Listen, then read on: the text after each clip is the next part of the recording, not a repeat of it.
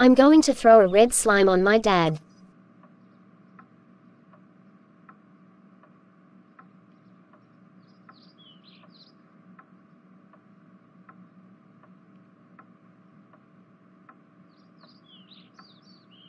Take that you stupid jerk. Angelica Pickles. How dare you throw a red slime at me? That's it.